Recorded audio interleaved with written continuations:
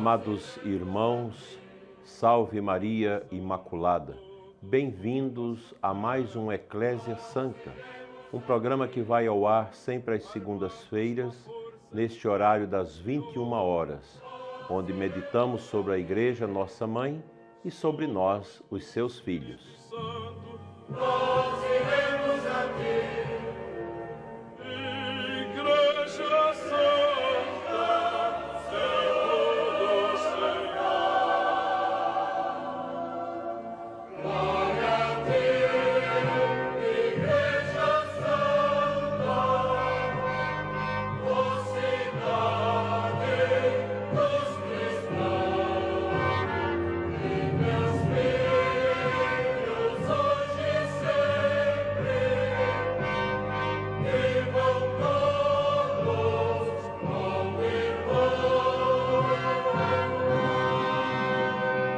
Nome do Pai, do Filho e do Espírito Santo, que as almas dos fiéis defuntos, pela misericórdia de Deus, Descanse em paz. paz. Queridos irmãos, aqui da nossa Eclésia Santa, nossa catequese, boa noite a todos. Deus os abençoe ricamente, abençoe você. Você também que vai acessar depois. Oro nas intenções de todos vocês aqui colocadas. Reginaldo, boa noite. Boa noite, Dona Daí. Boa noite a todos que nos acompanham. Descansou da visita pastoral? Ainda não deu tempo, né? Não deu tempo. Chegamos uma hora, seis já Exato. estava de pé de novo. É a correria. Tivemos uma semana bastante puxada com a visita pastoral a Colinas do Sul, paróquia Sagrado Coração de Jesus. Mas o que mais nos cansou foi o calor que estamos vivendo no Centro-Oeste nesses últimos, nessas últimas semanas. Não tem sido nada fácil. Peço a Deus que mande a chuva, pois já estamos com prejuízos na- nas lavouras, nas plantações, muitos produtores rurais perdendo o plantio já realizado por falta de chuva e o excesso de sol e calor.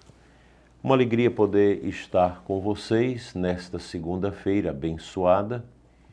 Estamos caminhando para o final do mês e do ano litúrgico. Próximo domingo nós temos Solenidade de Cristo Rei, Dia dos Leigos e também encerramento do ano vocacional. E aquela semana depois de, de Cristo Rei, ela ainda é celebrada dentro do tempo comum, mas já no outro domingo iniciaremos o tempo do advento. E então toda a igreja do Brasil terá que usar o novo missal. Aliás, a nova edição do missal. O missal é, é o mesmo de São Paulo VI, mas é, teve agora a sua nova edição, com revisão, com melhorias. Não ficou ruim, não. O missal está tá bem. Eu já estou usando, estou usando há alguns dias. Quero compartilhar com vocês um livro que eu recebi de uma pessoa que me enviou. É um livro do padre Pedro Paulo Alexandre, sacerdote exor- exorcista de Florianópolis, meu amigo. E ele escreveu um livro que veio a calhar com muitas preocupações que nós temos. Constelações familiares, cura entre gerações, maldições hereditárias e o cristianismo. Por que a constelação familiar é incompatível com o cristianismo? Quais são os perigos ao buscar essa prática? O que são as maldições hereditárias? Existe a cura intergeracional?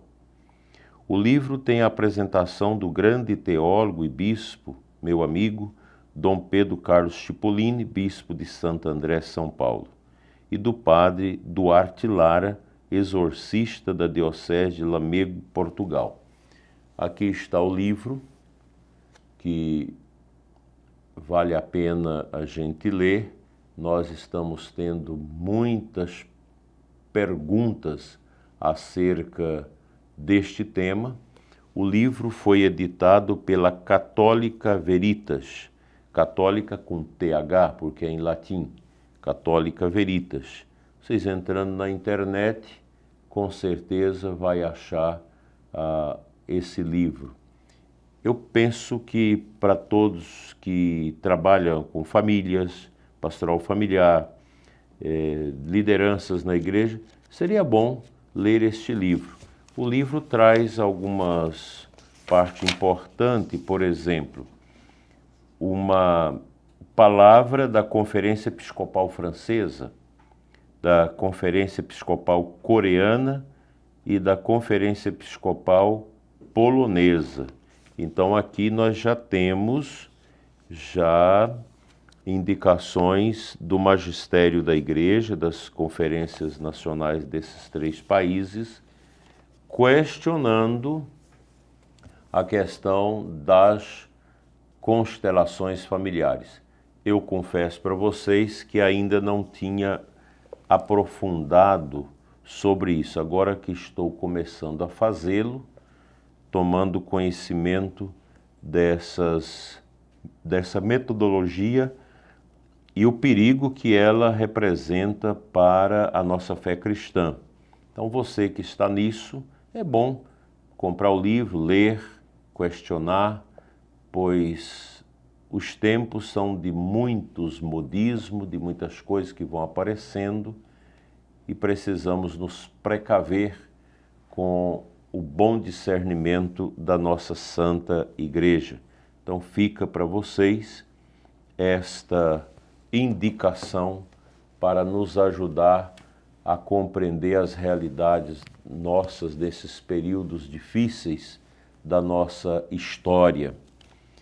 O catecismo da igreja, como regra da nossa fé católica, precisa estar ao alcance de nossas mãos e da nossa inteligência.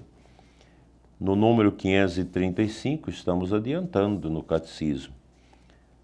Nós temos, dentro dos mistérios da vida pública de Nosso Senhor, o destaque para o batismo e a tentação de Jesus que vamos explanar nesse nosso encontro desta segunda-feira. A vida pública de Jesus tem início com seu batismo por João no Rio Jordão. João Batista proclamava um batismo de conversão para o perdão dos pecados. Lucas 3. Uma multidão de pecadores, publicanos, soldados, fariseus, saduceus, prostitutas, vem se fazer batizar por ele. Jesus aparece, o Batista hesita, mas Jesus insiste e ele recebe o batismo. Então o Espírito Santo, sob a forma de pomba, vem sobre Jesus e a voz do céu proclama: Este é o meu filho bem amado. Mateus 3. Aqui nós temos a manifestação, a epifania de Jesus como Messias de Israel e Filho de Deus. Esse contexto batismal de Jesus, ele é cercado de toda uma beleza que outorga o início da missão pública de nosso Senhor. Na verdade, Jesus não necessitava ser batizado. Ele é Deus. Não tinha necessidade para isso. Mas o gesto do batismo de Jesus, ele é grandioso. É uma expressão, uma manifestação messiânica da, da sua pessoa, do seu ministério. Veja que aqui nós podemos fazer uma correlação do antigo com o novo povo de Deus o antigo povo de Deus entra pelo mar vermelho a pé enxuto, rumo à Páscoa da libertação. é o povo da antiga aliança, o povo hebreu, o povo judeu. Jesus agora, a exemplo de Moisés que entrou com o povo mar adentro, nosso Senhor agora como novo Moisés, e por isso Mateus traz essa cena, porque ele está escrevendo para os judeus. Nosso Senhor, ao descer nas águas doces do Jordão, representa o nascimento desse novo Israel, o novo povo de Deus. Jesus é o Messias de Israel e com ele Israel será o novo Israel. O batismo de Jesus é da parte dele a aceitação e a inauguração de sua missão de servo sofredor, já previsto em Isaías. Deixa-se contar entre os pecadores. Veja a beleza aqui do mistério quenótico, do rebaixamento, desta desse esvaziamento de Deus da sua condição divina para assumir a nossa condição humana. Jesus se deixa encontrar entre os pecadores. São Paulo vai dizer: Ele se fez pecado por nós. Já é o Cordeiro de Deus aquele que tira o pecado do mundo. João, capítulo 1, versículo 29. Já antecipa o batismo de sua morte sangrenta.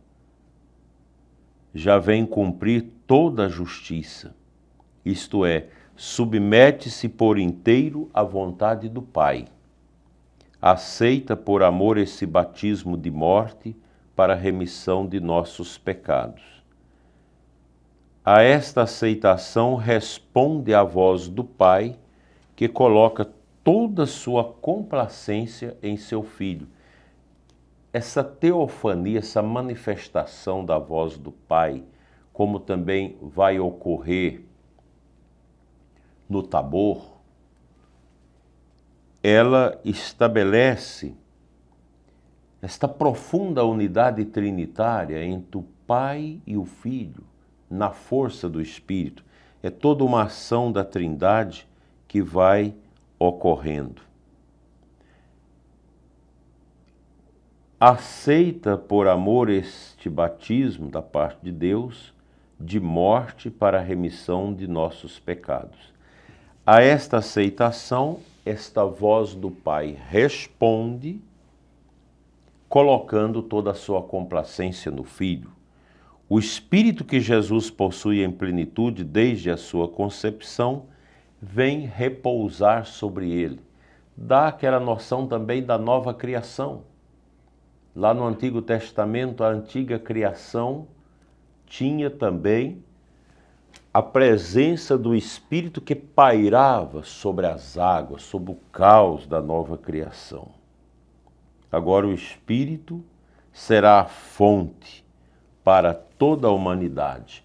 No batismo, Jesus abriu-se o céu, que o pecado de Adão havia fechado, e as águas são santificadas pela descida de Jesus e do Espírito, prelúdio da nova criação, como eu já falei. Veja a beleza desta conexão do Antigo Testamento com o Novo Testamento, da realidade do pecado original, da desobediência, do mergulho da humanidade nas trevas do pecado, da de se virar as costas a Deus e agora a ação do Cristo que é o novo Adão, que contrapõe aquela realidade. Se por Adão veio a morte, o pecado, agora por nosso Senhor vem a graça. O céu havia sido fechado por Adão e Eva. Nosso Senhor, que nasce de Maria, nova Eva, que o oferta ao mundo, abre as portas do céu. É o prelúdio da nova criação.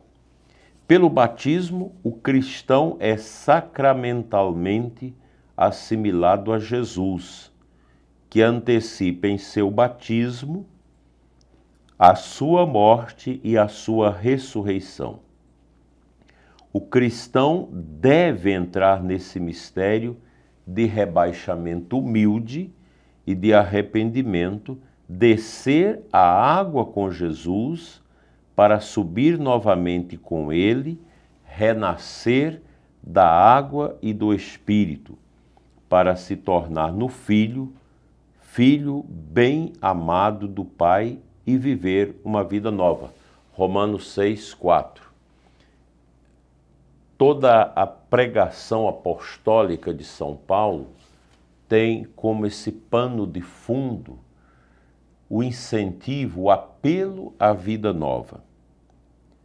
O batismo nos traz essa graça de renascermos dessas cinzas, desse fechamento estranho do pecado de Adão e Eva para toda a humanidade, para viver agora a graça da vida nova. São Gregório Nazianziano, na sua oração, diz: Pelo batismo nos sepultemos com Cristo, para ressuscitar com Ele, desçamos com Ele para sermos elevados com Ele, subamos novamente com Ele para sermos glorificados nele. A belíssima oração deste grande santo. Também Santo Hilário de Pontier, nos seus comentários do Evangelho, ele diz acerca deste tema: Tudo o que aconteceu com Cristo nos dá a conhecer que depois da imersão na água, o Espírito voa sobre nós do alto do céu e que, adotados pela voz do Pai, nos tornamos filhos de Deus. Que maravilha! Que ensinamento maravilhoso! A imersão na água a força do Espírito que vem do alto. Na voz do Pai, no batismo de Cristo, representa a nossa adoção a Deus pelo Cristo como filhos dele. Portanto, diletos irmãos, o batismo de Jesus, ele é carregado dessas belezas quem quiser aprofundar esse tema, no livro do Papa Bento XVI, Jesus de Nazaré, são três livros. Ele comenta essas passagens fulcrais, grandiosas do Novo Testamento e ele faz uma, um comentário bonito, também profundo, sobre o batismo de Jesus. Entremos agora no número 538, a tentação de Cristo. Jesus também foi tentado, mesmo sendo Deus, mas na sua condição humana, ele sofre a tentação do demônio. Nosso Senhor é imaculado, ele não tem pecado, como Nossa Senhora, sua mãe. Jesus é Deus em Deus não pode haver limites.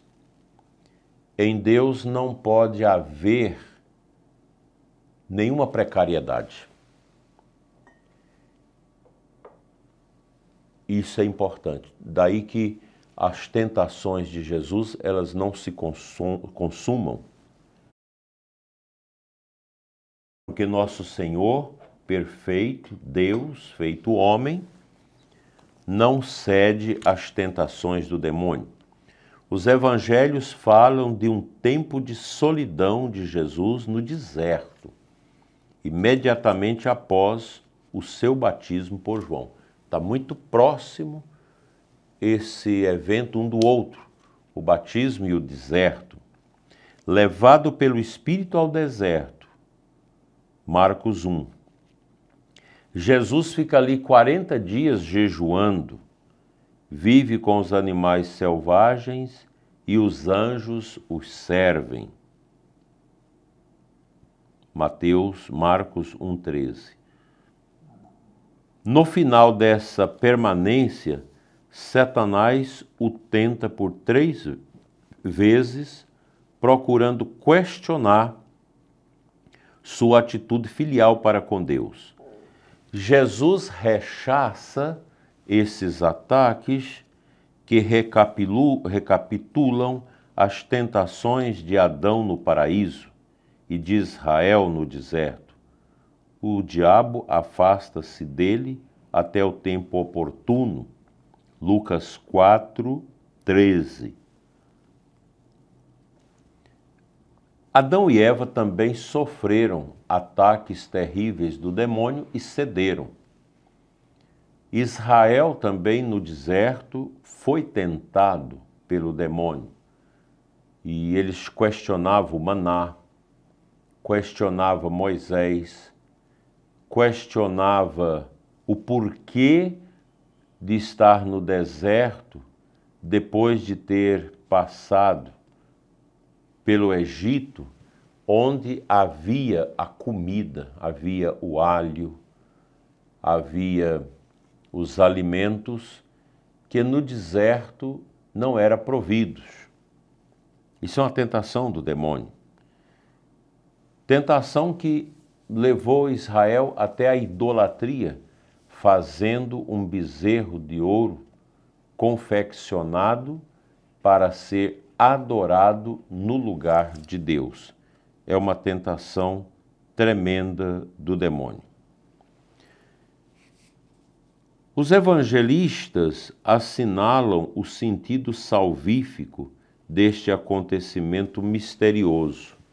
Jesus é o novo Adão, ficou fiel enquanto o primeiro sucumbiu à tentação Jesus cumpre à perfeição a vocação de Israel, contrariamente aos que provocaram outrora a Deus durante 40 anos no deserto.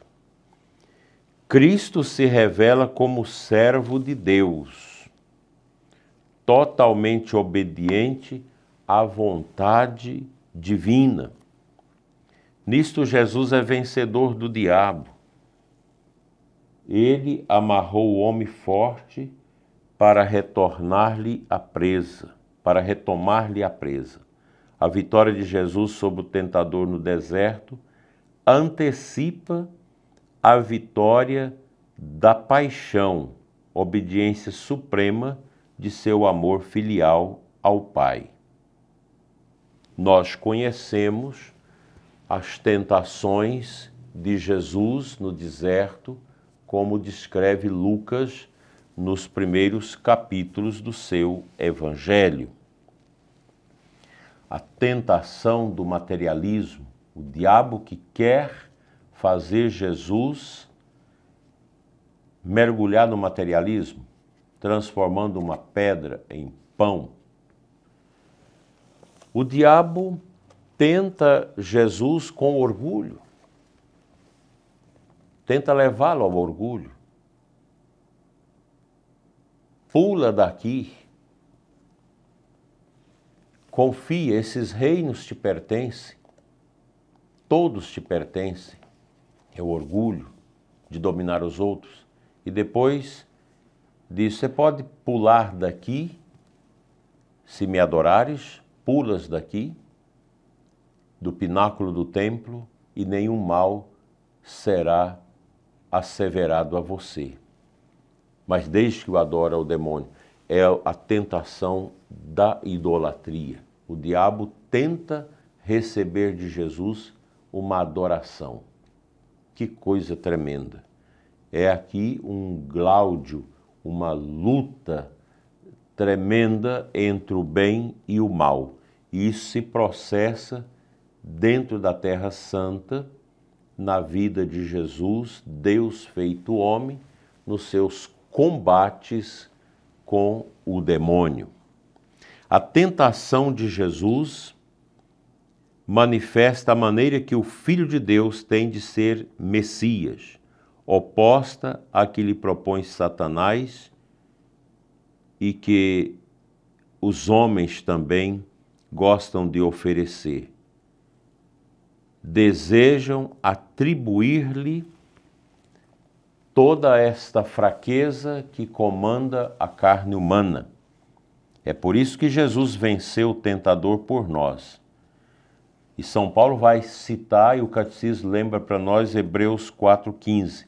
De fato, não temos um sumo sacerdote incapaz de se compadecer de nossas fraquezas, pois ele mesmo foi provado em tudo a nossa semelhança e em sem todavia pecar. E aí o catecismo arremata. A igreja se une a cada ano durante a quaresma, dias da grande é, quarentena de penitência, oração e jejum, que nos coloca em íntima união com o mistério de Jesus no deserto. Já estamos próximos do advento e do tempo do Natal, e logo depois, aquele tempo comum ali, pequeno, depois do tempo do Natal, passa rápido e nós já vamos estar mergulhados no mistério da Quaresma. O ano litúrgico ele é bastante rápido, ele voa.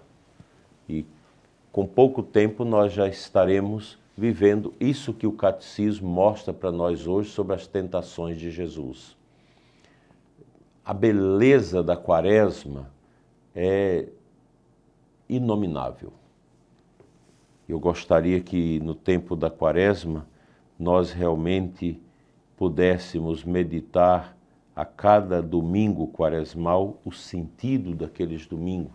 E nós começamos o primeiro domingo da quaresma com essa tentação de Cristo no deserto tentação do demônio para subtrair a dimensão humana de Cristo do domínio de Deus. As tentações de Jesus são também as nossas, pois nós somos tentados dioturnamente a não fazer a vontade de Deus e, ao contrário, a agradar o inimigo.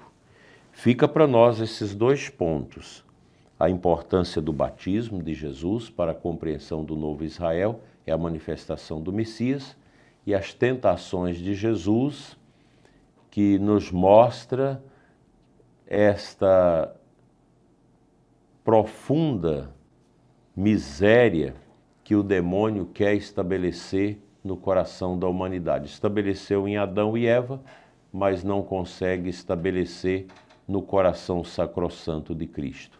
Que nosso Senhor nos defenda contra as desgraças do demônio que estão presentes no mundo e também na igreja. Por que não na igreja? Nós, os homens da igreja, a parte humana da igreja, somos muito tentados é preciso a prudência constante contra a tentação do inimigo. Te convido agora a fazermos a nossa oração das completas. Hoje, infelizmente, eu não estou presente aqui, esse programa é gravado, porque tenho compromissos na Paróquia de Cristo Rei, em Brasília, dos padres do caminho neocatecumenal. Mas a importância desse tema transcende a essa questão de estarmos ou não presentes. Oro com você com alegria. Vinde, ó Deus, em meu auxílio. Socorrei-me sem demora. Glória ao Pai, ao Filho e ao Espírito Santo. Como era no princípio, agora e sempre. Amém. Aleluia. Aleluia. Vamos fazer o nosso exame de consciência pedindo a Deus perdão dos pecados cometidos. Senhor, tem de piedade de nós. Senhor, tem de piedade de nós. Cristo, tem de piedade de nós. Cristo, tem de piedade de nós. Senhor, tem de piedade de nós. Senhor, tem de piedade de nós. Deus Todo-Poderoso, tenha compaixão de nós, perdoe nossos pecados e nos conduz à vida eterna. Amém. Hino. Agora que o clarão da luz se apaga, A vós nós imploramos, Criador, com vossa paternal misericórdia, guardai-nos sobre a luz do vosso amor. Os nossos corações sonhem convosco, no sono possam eles vos sentir. Cantemos novamente a vossa glória, ao brilho da manhã que vai surgir. Saúde concedei-nos nesta vida, as nossas energias renovai. Da noite a pavorosa escuridão, com vossa claridade iluminai. Ó Pai, prestai ouvido às nossas preces. Ouvi-nos por Jesus nosso Senhor, que reina para sempre em vossa glória, convosco e o Espírito do amor. Que o Espírito Santo nos ajude a compreender o Salmo 85, oração do pobre nas dificuldades. Ó Senhor, sois clemente e fiel, Sois amor, paciência e perdão. Inclinai, ó Senhor, vosso ouvido, escutai, pois sou pobre, infeliz. Protegei-me, que sou vosso amigo, e salvai vosso servo, meu Deus, que espera e confia em vós. Piedade de mim, ó Senhor, porque clamo por vós todo dia. Animai e alegrai vosso servo, pois a vós eu elevo a minha alma. Ó Senhor, vós sois bom e clemente, sois perdão para quem vos invoca. Escutai, ó Senhor, minha prece, o lamento da minha oração. No meu dia de angústia eu vos chamo, porque sei que minha vez de escutar. Não existe entre os deuses nenhum que convosco se possa igualar. Não existe outra obra no mundo comparável às vossas, Senhor. As nações que criastes virão adorar e louvar vosso nome.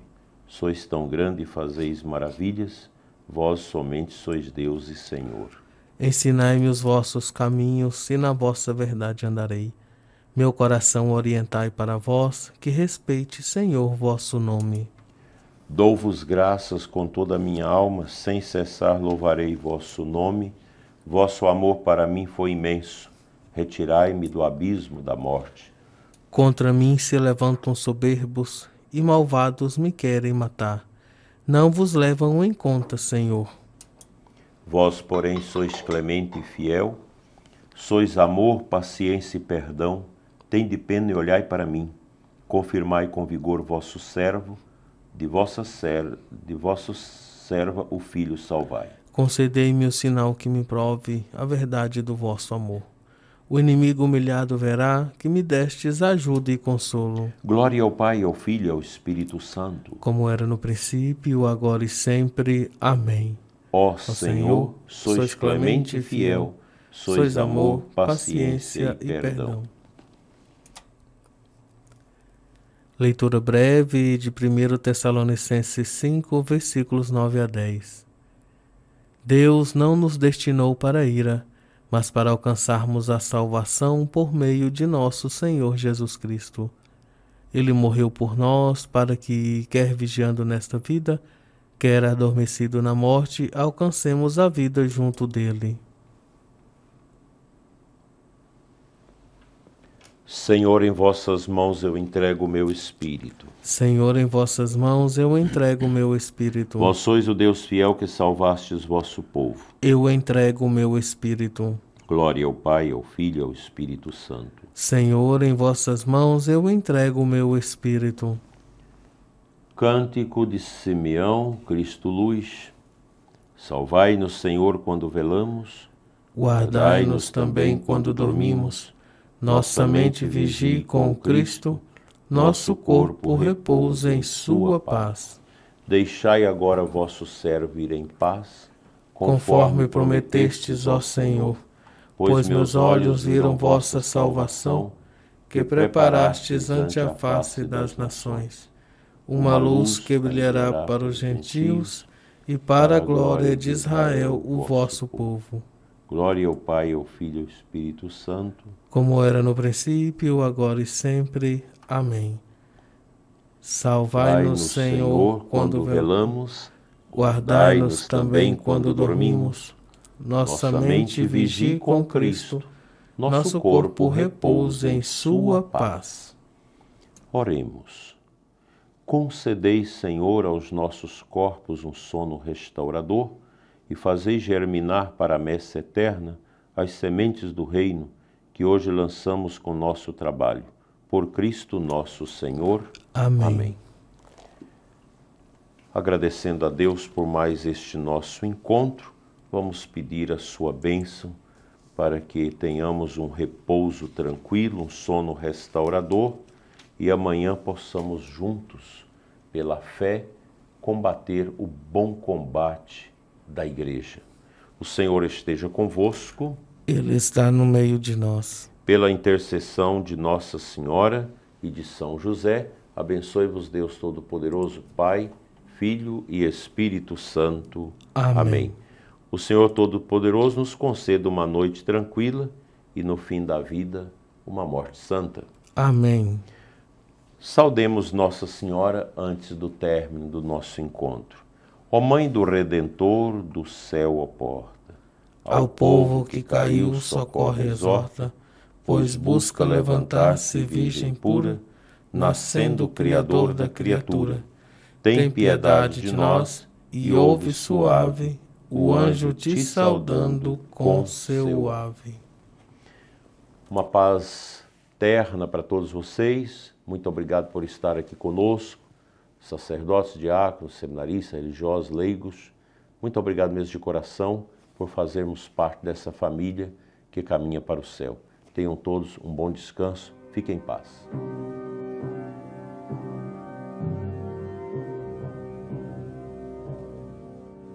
de nossas fazendas e nossas cidades, nós iremos a ti nossas montanhas e nossas baixadas, nós iremos a ti. De nossas cabanas e pobres favelas, nós iremos a ti. De nossas escolas e nosso trabalho, nós iremos a ti